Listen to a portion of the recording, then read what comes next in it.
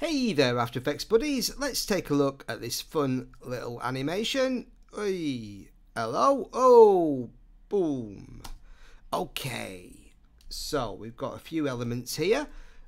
We've got the original footage, piece of stock footage, and I've also got an explosion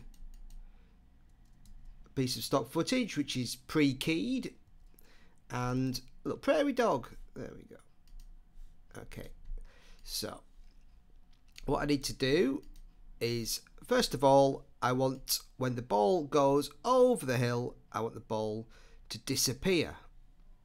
I don't want to see it going onto the green.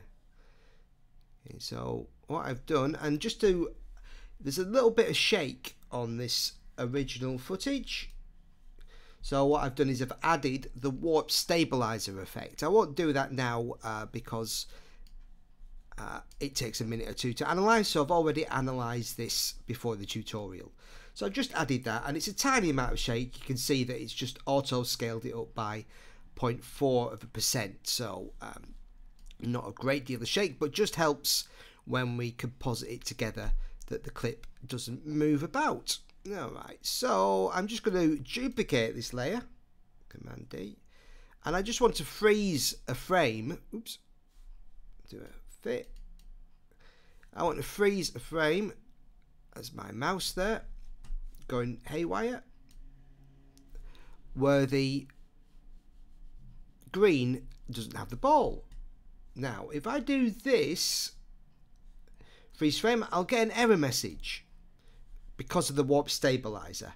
So as is often the case with After Effects I can fix this by pre-composing the layer okay and I'll, I'll call this green I'll choose the second option there. And then if I do a time freeze frame we're fine. Alright so I can now take this. I can just do a mask around the green. That's all I really need. That's our layer. Okay I might just feather that out a little bit. Always helps it blend in slightly just a tiny bit. Okay and just so that now when the ball goes into that layer there you go disappears. So I just need to so I just need to extend that out slightly. Make sure we, we lose the ball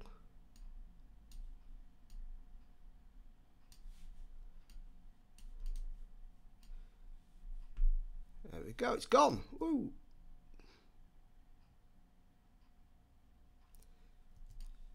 Okay, so now I've got this gopher image, this prairie dog. Yeah, drop that chap in.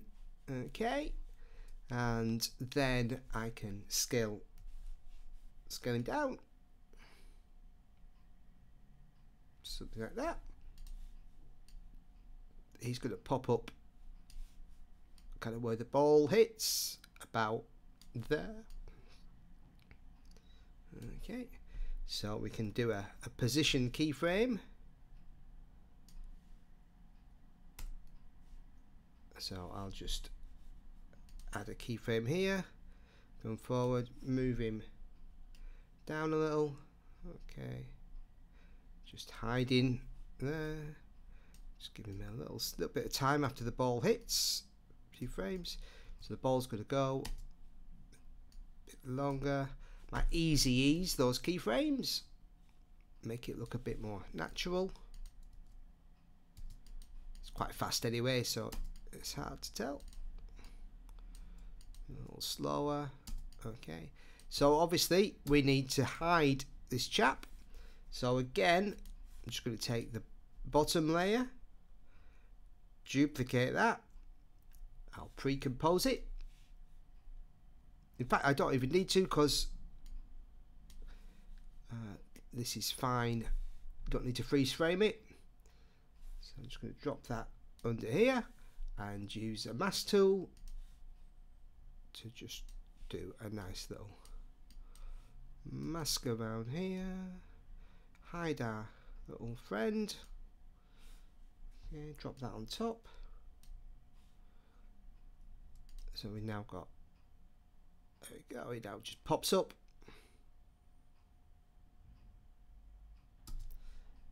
Okay, just gonna make that a little later.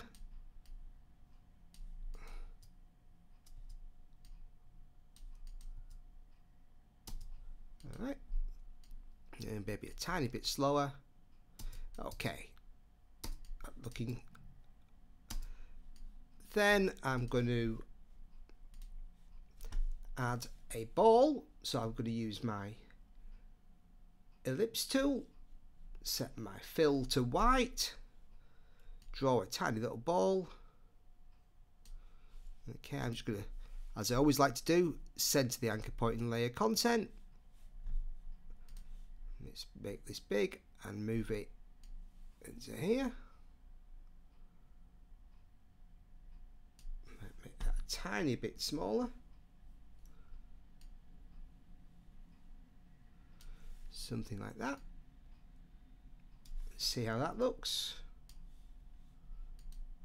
Yeah. I'm going to parent that to the prairie dog layer. Drop that underneath. So he's going to pop up now with his golf ball in his hand So from here, I can add a keyframe. I can come to, to here, a few frames forward, put the ball at the feet, draw a path.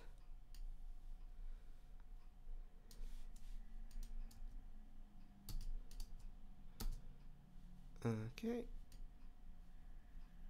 Let's have it start there. Again, I can take this first keyframe, I'll easy ease that, and then add some motion blur to the ball, and there we go. I'll add some to the golfer too, and then just Finally, just take my explosion, drop that on him. Where that takes place. Move that along.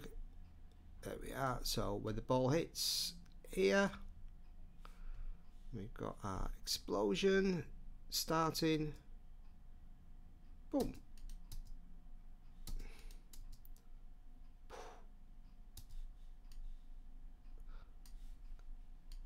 And that is the end of Mr. Golfer.